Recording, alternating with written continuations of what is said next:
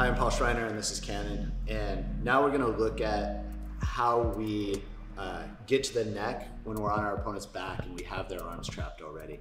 Because I think the way that we uh, expose the neck is a little bit different uh, here at Marcelo's. This is what Marcelo's taught us over the years. So, all right, we have a lot of different ways to get the, the arms trapped. But once the arms trap are trapped, the first situation we're gonna look for is our opponent just hiding their chin in a more or less kind of direct path where that chin's glued to his chest.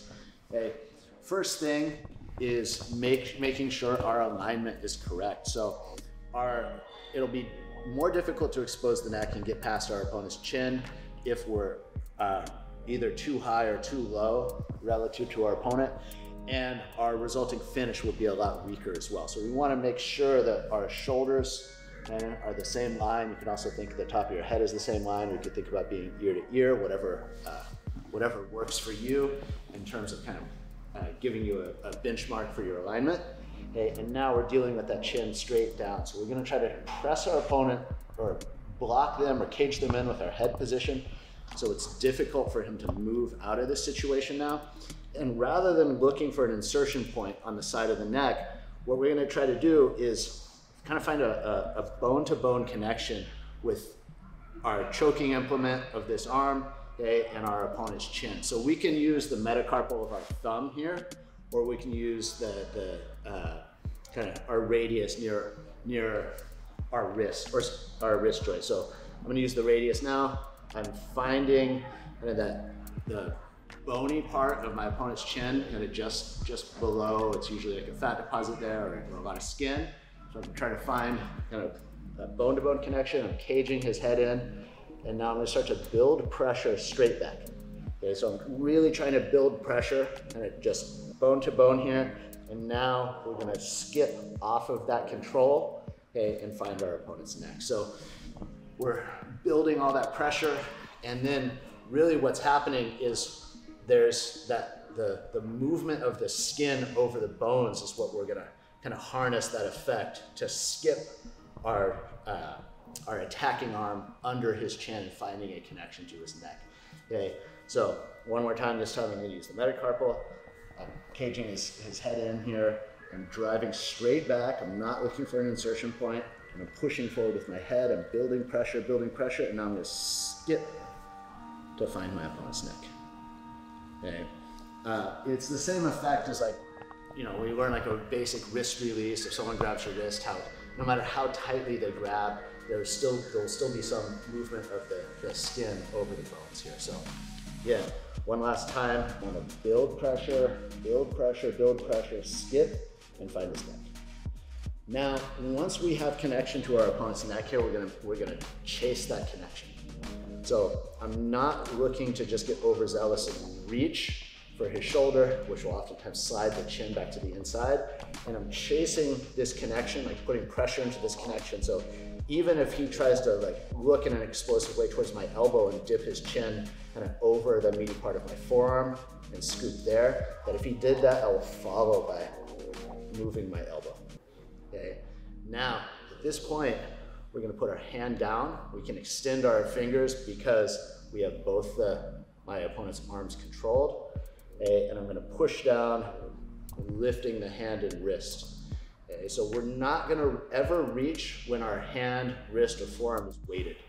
That's the idea, because when we reach when it's weighted, that's where we, again, lose our opponent's chin here. So I'm gonna lift, drop and walk. Lift, drop and walk. Lift, drop and walk, okay, until we find our hand okay, where to it, its uh, its target. So what we're looking for is this typically is an edge to hold on to. So we're getting our hand behind our opponent's body here. We're looking for an edge typically on the, the top of the scapula. There's like a, a, a bony edge there. Sometimes if someone's much, much, uh, or, or really big or really muscular, we kind of can't find that, but we can find an edge where the, the trapezius muscle kind of uh, provides us with a handhold there. So again, lift, drop, walk, lift, drop, walk, lift, drop, walk, lift, drop, walk. Now I'm protecting the edge of my own wrist, okay? Because as I release here, my opponent is gonna come look to find that, so I'm defending that with my head. Now I get my hands together, okay, and I can finish. Okay, so one more time, we have the, however we trapped the arms, we trap the arms, we're trying to keep his head, like his chin, straight down his body. Okay, so our, our head is pushing his, his head into position and trying to maintain that chin positioning for my opponent. I'm gonna build pressure, skip under the chin, pressing back against the neck. Okay, and now when we're ready, we're gonna lift and advance. Lift and advance, lift and advance until we find our finishing position. Here we can finish with one arm, we can finish with a short choke, or we can finish with the rear naked choke. Okay, so that would be our, or our primary way to get under the chin.